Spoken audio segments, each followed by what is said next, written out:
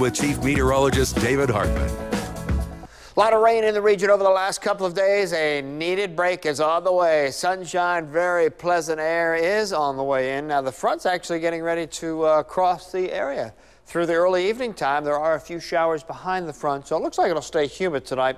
And cloud cover should persist tonight and at least into tomorrow morning. It may not be until Tuesday afternoon until skies begin to clear. Big area of high pressure back over the western states. Boy, and it seems like it has been forever since we haven't been tracking the next disturbance coming our way from out west. So high pressure will build in, northerly winds. That means very pleasant evenings and mornings, low humidity values.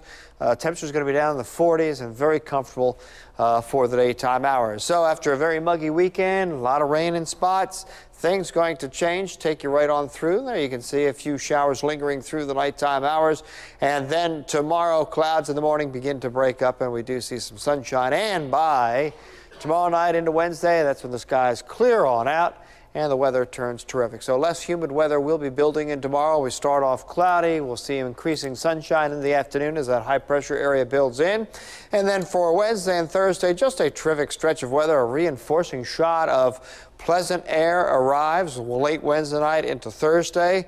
So enjoy the May weather. Boy, it was super muggy over the weekend, wasn't it? Still humid tonight, maybe an early evening passing shower, 61.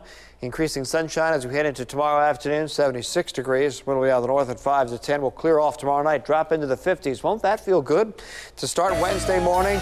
Yeah, we'll put the big nice up there and let it there. That's a nice looking forecast for early May.